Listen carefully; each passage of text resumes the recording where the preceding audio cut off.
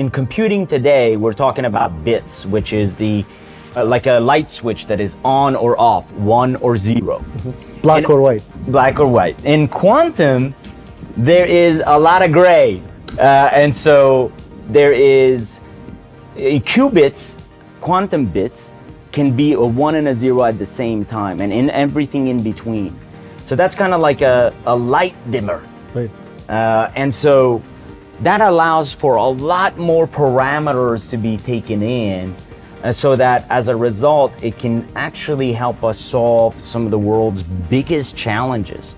And to me, the advancements we made with the topological core, uh, Majorana 1, is pretty amazing because it's smaller, faster, takes on more qubits, a bit more, you know, manages the errors a whole lot better. It's less error prone, which is incredible advancement.